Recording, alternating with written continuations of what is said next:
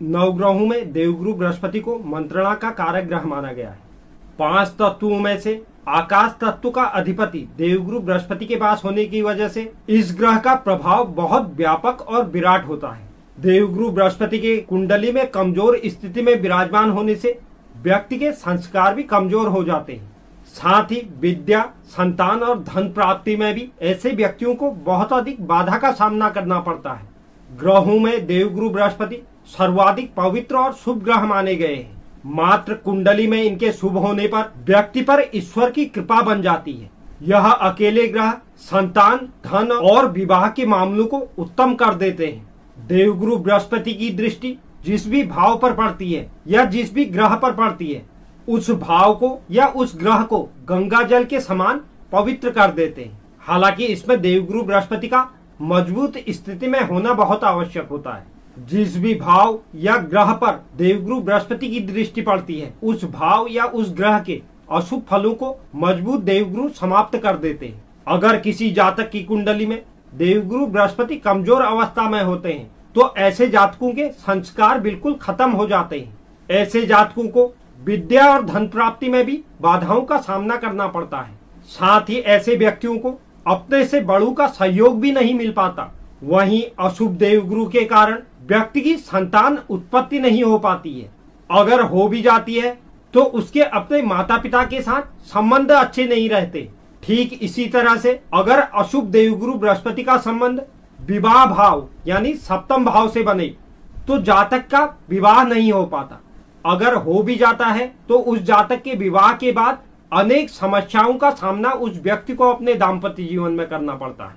शनि की अशुभ स्थिति से व्यक्ति की समस्याओं का तो निवारण हो सकता है, परंतु बृहस्पति ग्रह के बुरे असर का निवारण बहुत मुश्किल हो जाता है। वैदिक ज्योतिष के अनुसार बृहस्पति ग्रह को एक लाभकारी ग्रह माना गया है। देवगुरु बृहस्पति, शिक्षा, संतान, विवाह, भाग्य, धन, आध्यात्मिकता और भक्ति के कारक ग्रह माने गए हैं। देवगुरु बृहस्पति की कुंडली में शुभ स्थिति व्यक्ति को धार्मिक प्रवृत्ति का बना देती है। उस जातक के अंदर सात्विक गुणों का विकास करती है। ऐसा व्यक्ति समाज में मान, सम्मान और पद प्रतिष्ठा को प्राप्त करता है। देवगुरु बृहस्पति की स्थिति व्यक्ति के जीवन में यह निर्धारण करती है कि उसके अपने से बड़े और बुज़ुर्ग लोगों के साथ किस प्रकार के संबंध रहने वाले हैं। इसका निर्धारण भी देवगुरु बृहस्पति की स्थिति ही करती है, क्योंकि देवगुरु बृहस्पति सम्मानित और बुज़ुर्ग व्यक्तियों का प्रतिनिधित्व करते हैं। किसी भी जातक की कुंडली में देवगुरु बृहस्पति की स्थिति ही यह भी निर्धारण करती है कि उसके अपने शिक्षकों के साथ किस प्रकार के संबंध रहेंगे। देवगुरु बृहस्पति का गोचर लगभग तेरह महीने का होता है तो यह किसी भी राशि पर बहुत लंबी समय अवधि तक प्रभाव डालते हैं।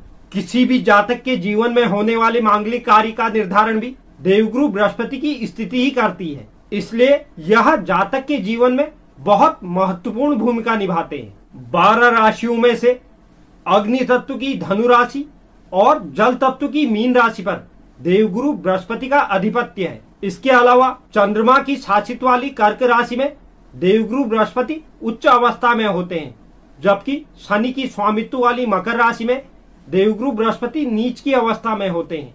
वैदिक ज्योतिष के अनुसार देवगुरु बृहस्पति ही किसी भी जातक के जीवन में शुभता प्रदान करते हैं, क्योंकि यह जातक के जीवन में उत्साह और उमंग का संचार करते हैं। अब यही धन के कारक ग्रह देवगुरु बृहस्पति 13 अप्रैल 2022 को सुबह ग्यारह बजकर तेईस मिनट पर शनि की स्वामित्व वाली कुंभ राशि से निकलकर अपनी स्वराशि मीन राशि में प्रवेश करने वाले हैं।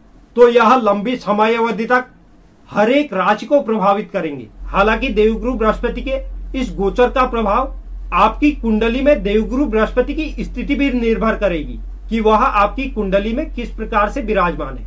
क्या देवगुरु बृहस्पति की आपकी कुंडली में शुभ स्थिति है या अशुभ स्थिति है? इस पर भी इस गोचर का राशिफल आपके लिए प्रभावी रहेगा। इसके लिए आप अपनी कुंडली का भी विश्लेषण ज़रूर कराएँ। लेकिन इस गोचर से एक सामान्य जो प्रभाव हमारी बारह राशियों पर पड़ने जा रहा है, उसके बारे में हम आज की वीडियो में चर्चा करने वाले तो देवगुरु बृहस्पति के इस अपनी स्वराशि में गोचर से हमारी बारह राशियों पर किस प्रकार का प्रभाव पड़ने वाला है? इसके बारे में हम आज विस्तार पूर्वक जानेंगे। साथ ही जिन लोगों के लिए इसके अशुभ प्रभाव देखने को मिलेंगे, वह क्या उपाय कर कर इस गोचर को शुभ बना सकते हैं? इसके बारे में भी हम आज की वीडियो में चर्चा करेंगे। तो आप वीडियो के अंत तक मेरे साथ बने रहें और जो नए व्यूअर्स चैनल पे हैं, चैनल को आप ज़रूर सब्सक्राइब कीजिए, साथ ही साथ बेल नोटिफिकेशन भी ऑन कर लीजिए। जिससे चैनल पर अपलोड होने वाली हर एक वीडियो का नोटिफिकेशन आपके पास सबसे पहले पहुँचे। और आप वीडियो को लाइक और शेयर भी ज़रूर करें। और कमेंट बॉक्स में आप अपनी राय भी ज़रूर लिखें। तो चलिए, शुरुआत करते हैं मेष राशि से। मेष राशि के लिए देवगुरु बृहस्पति नवम भाव और द्वादश भाव के स्वामी होते हैं। इस गोचर काल की अवधि में व्यय और हानि के बारहवें भाव में देवगुरु बृहस्पति गोचर करने वाले हैं। यहाँ पर बैठे हुए देवगुरु बृहस्पति की चौथे भाव, छठे भाव और आठवें भाव पर दृष्टि रहने वाली है। इस समय अवधि के दौरान आपको स्वास्थ्य के प्रति सचेत रहना है। स्वास्थ्य से संबंधित मामलों में इस समय अवधि में आपका धन अत्यधिक खर्च होगा। हालाँकि देवगुरु बृहस्पति का यह गोचर आपके लिए भाग्य का प्रबल स्थान लेकर आने वाला है। इस समय अवधि में आप अपने भाग्य के दम पर किसी भी कार्य में अच्छी सफलता अर्जित कर पाएँगे। इस समय अवधि के दौरान आप अपने सुख सुविधाओं के साधनों पर भी अपना धन खर्च कर सकते हैं। वहीं कुछ जातक इस समय अवधि के दौरान नई संपत्ति, नई कार या नए घर पर अपना धन खर्च कर सकते हैं। इस समय अवधि के दौरान आपका खर्च कानूनी मामलों पर भी हो सकता है। हालाँकि उन कानूनी मामलों में आपको विजय प्राप्त ज़रूर होगी। देवगुरु बृहस्पति का यह गोचर आपके पिता के साथ आपके संबंध अच्छे बनाकर रखेगा। इस गोचर अवधि को शुभ करने के लिए ओम गुंग गुरुवे नमः मंत्र का नित्य 108 बार जाप करें। बात करते हैं वृषभ राशि की। वृषभ राशि के जातकों के लिए देवगुरु बृहस्पति अष्टम भाव और एकादश भाव के स्वामी होते हैं। इस गोचर काल की अवधि में आय और लाभ के एकादश भाव में देवगुरु बृहस्पति गोचर करने वाले हैं। यहाँ पर बैठे हुए देवगुरु बृहस्पति, आपके पराक्रम के भाव, शिक्षा के भाव और दाम्पत्य के भाव पर दृष्टि रखेंगे। आर्थिक मामलों के लिहाज से यह गोचर आपके लिए बेहद शानदार रहने वाला है। इस समय अवधि में आप नए नए स्रोतों से धन प्राप्त करने में सफल रहेंगे। यह गोचर आपके पराक्रम में भी वृद्धि लेकर आने वाला है, जिसका साफ़ साफ़ असर आपके कार्य क्षेत्र पर दिखाई देगा। आप अपने पराक्रम के दम पर किसी भी कार्य को बहुत आसानी से कर पाएँगे। वहीं छात्र जातकों के लिए यह गोचर एकाग्रता में वृद्धि लेकर आने वाला है। आप अपने किसी भी विषय पर इस समय अवधि में अच्छी पकड़ बनाने में कामयाब रहेंगे। दाम्पत्य जातकों के लिए यह गोचर प्रेम और रोमांच में वृद्धि लेकर आने वाला है। इस समय अवधि में दाम्पत्य जातकों के बीच सामंजस्य में भी वृद्धि देखने को मिलेगी। हालाँकि स्वास्थ्य के लिहाज से आपको छोटी मोटी परेशानियाँ उत्पन्न हो सकती हैं। इस गोचर अवधि को शुभ करने के लिए ओम नमः भगवते वासुदेवाय नमः मंत्र का नित्य 108 बार जाप करें। बात करते हैं मिथुन राशि की।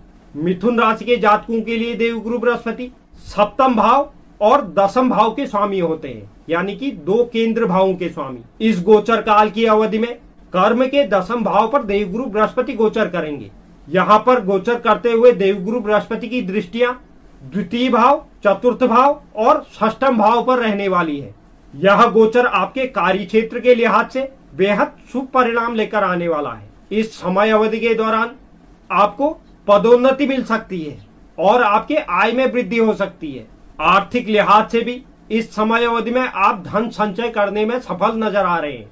देवगुरु बृहस्पति की इस गोचर की अवधि में आप किसी संपत्ति, भवन या वाहन पर आप अपना धन निवेश कर सकते हैं। अगर आपका कोई कानूनी मामला चल रहा था तो उसमें भी आपको सफलता प्राप्त होगी। कानूनी क्षेत्रों से जुड़े हुए लोगों के लिए यह गोचर बेहद शुभ परिणाम लेकर आएगा। अगर हम दाम्पत्य जीवन की बात करें तो इस समय अवधि में मिथुन राशि का दाम्पत्य जीवन खुशियों से भरा रहने वाला है। इस समय अवधि में आपके प्रेम में भी वृद्धि देखने को मिलेगी। वहीं कार्य क्षेत्र के लिहाज से भी देवगुरु बृहस्पति पदोन्नति की योग बनाने जा रहे हैं। स्वास्थ्य के लिहाज से यह गोचर आपके लिए सामान्य रहेगा। इस गोचर अवधि को शुभ करने के लिए देवगुरु बृहस्पति के बीज मंत्रों का नित्य 108 बार जाप करें। बात करते हैं कर्क राशि की। कर्क राशि के जातकों के लिए देवगुरु बृहस्पति षष्टम भाव और नवम भाव के स्वामी होते हैं। इस गोचर काल की अवधि में भाग्य के नवम भाव पर देवगुरु बृहस्पति गोचर करेंगे। यहाँ पर बैठे हुए देवगुरु बृहस्पति की दृष्टिया आपके लग्न भाव, पराक्रम भाव और संतान भाव पर रहने वाली है। इस समय अवधि के दौरान आपको संतान पक्ष की ओर से कोई शुभ समाचार मिल सकता है। वहीं दाम्पत्य जातकों के जीवन में भी संतान प्राप्ति की कोई शुभ सूचना प्राप्त हो सकती है। देवगुरु बृहस्पति का यह गोचर आपके लिए भाग्य का सान लेकर आने वाला है। इस समय अवधि में आपके व्यक्तित्व में भी एक अलग से निखार देखा जाएगा। इसी प्रभावशाली व्यक्तित्व के दम पर आप समाज में मान सम्मान और पद प्रतिष्ठा में वृद्धि कर पाएँगे। इस समय अवधि में आपके पराक्रम में भी वृद्धि होने वाली है, जिसके बल पर आप कार्य क्षेत्र में अच्छा प्रदर्शन कर पाएँगे। और इस समय अवधि के दौरान आपके वरिष्ठ भी आपका भरपूर सहयोग करेंगे। छात्र जातकों के लिए यह गोचर बेहद शुभ परिणाम लेकर आने वाला है। इस समय अवधि में आपके एकाग्रता में वृद्धि देखने को मिलेगी। वहीं दाम्पत्य जातकों के बीच में यह गोचर प्रेम में वृद्धि लेकर आने वाला है। इस समय अवधि को शुभ करने के लिए बृहस्पतिवार के दिन पीले वस्त्रों को धारण करें। बात करते हैं सिंह राशि की। सिंह राशि के जातकों के लिए देवगुरु बृहस्पति पंचम भाव और अष्टम भाव के स्वामी होते हैं। इस गोचर काल की अवधि में अनिश्चितताओं के अष्टम भाव पर देवगुरु बृहस्पति गोचर करेंगे।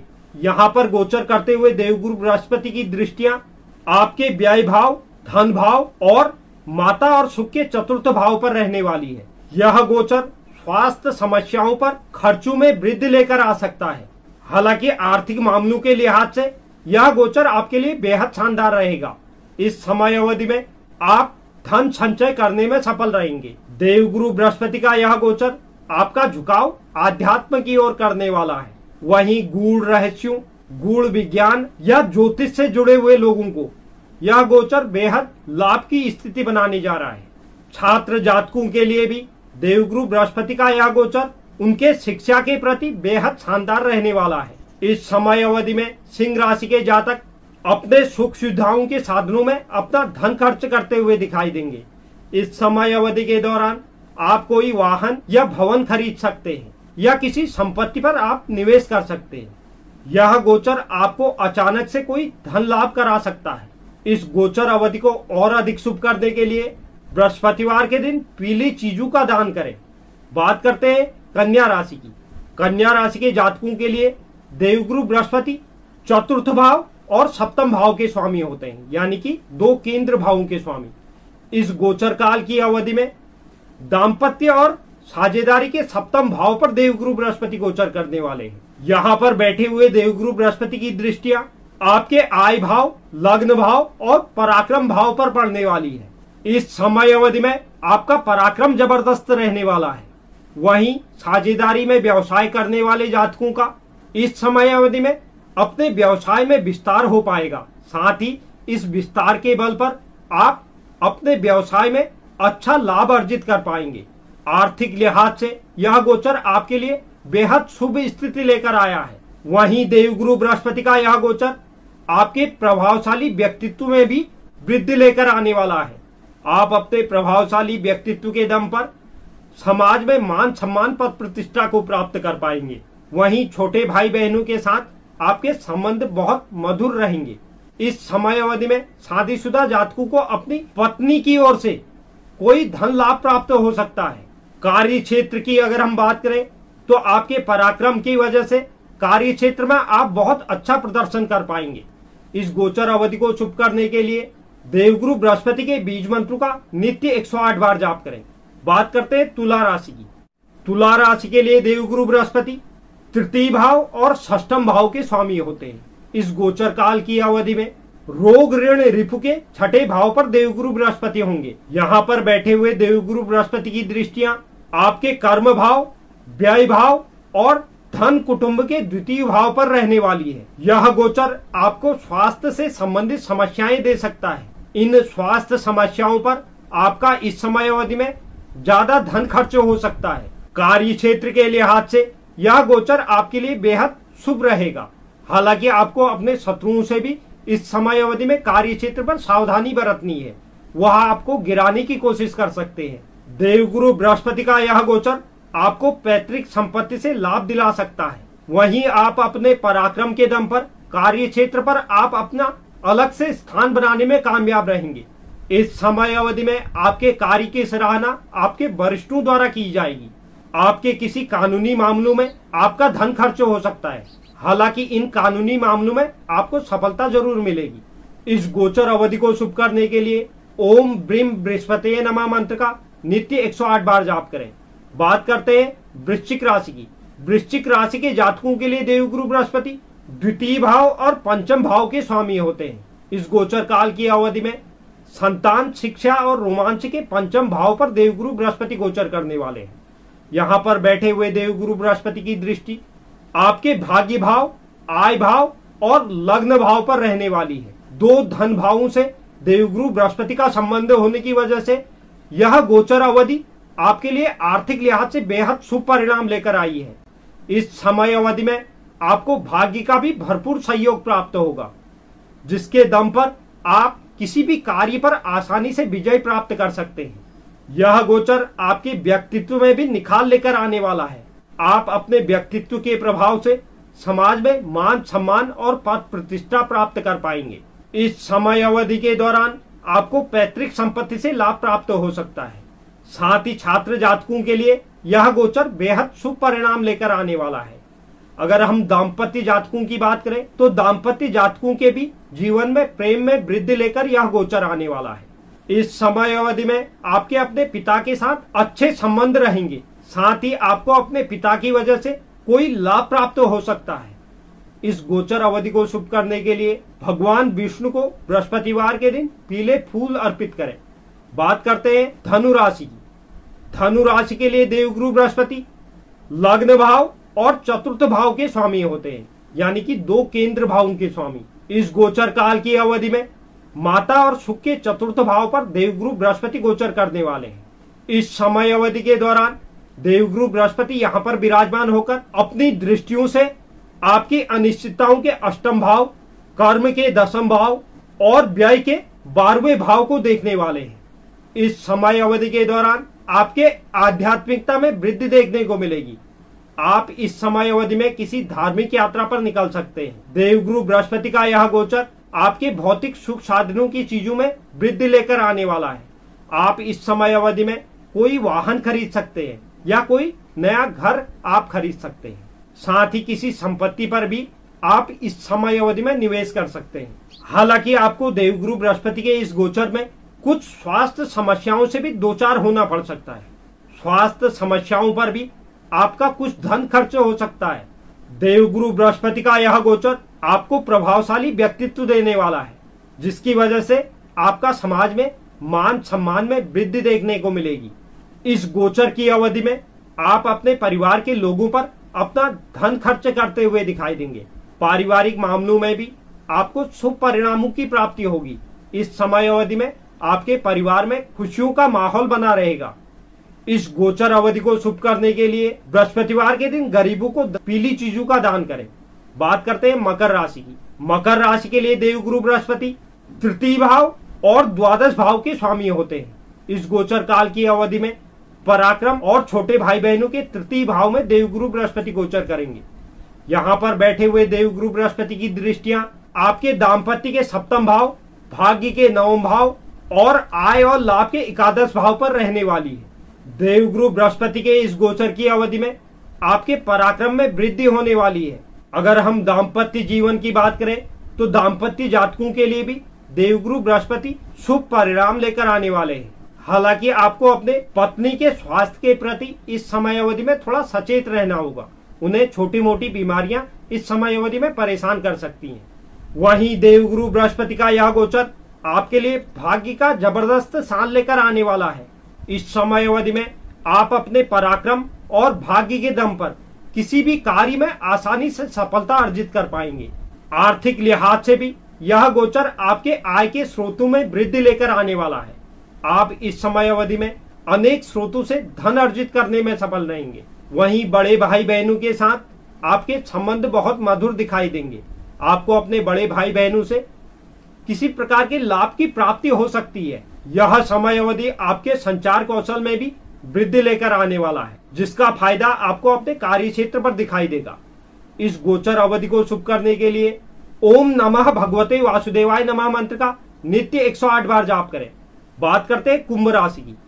कुंभ राशि के जातकों के लिए देवगुरु बृहस्पति, आय भाव यानी एकादश भाव और धन भाव यानी द्वितीय भाव के स्वामी होते हैं। इस गोचर काल की अवधि में वाणी और कुटुंब के द्वितीय भाव में देवगुरु बृहस्पति गोचर करेंगे। इस गोचर काल की अवधि में देवगुरु बृहस्पति की दृष्टिया आपके छठे भाव, अष्टम भाव और दसम भाव पर रहने वाली है। इस गोचर काल की अवधि में आपको स्वास्थ्य के प्रति सचेत रहना है, क्योंकि इस समय अवधि में आपको स्वास्थ्य से संबंधित परेशानियों से दो चार होना पड़ेगा। हालाँकि देवगुरु बृहस्पति का दो धन भावों से संबंध होने की वजह से आपके आर्थिक पक्ष को यह गोचर बहुत मज़बूत करने वाला है।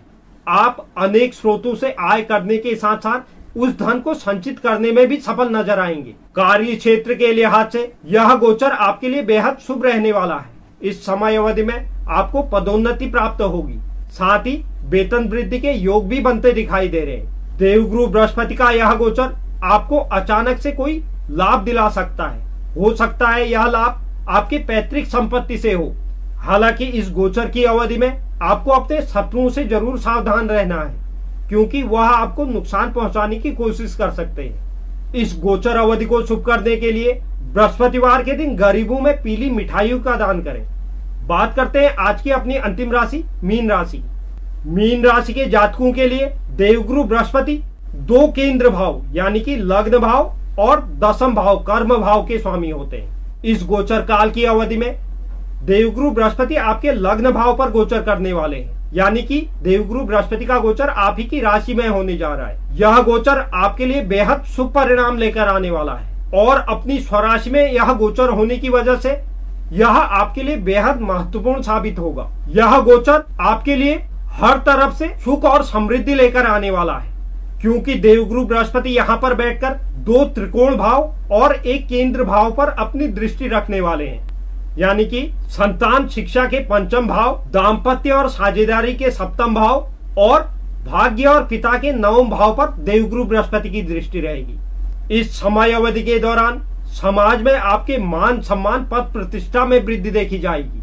यह गोचर छात्र जातकों के लिए भी बेहद शुभ परिणाम लेकर आने वाला है। वहीं दाम्पत्य जातकों के जीवन में भी यह गोचर बेहद शुभ परिणाम लेकर आने वाला है। आपके प्रेम में, इस समय अवधि में वृद्धि देखने को मिलेगी। और आपके सामंजस्य में भी यह गोचर वृद्धि लेकर आया है।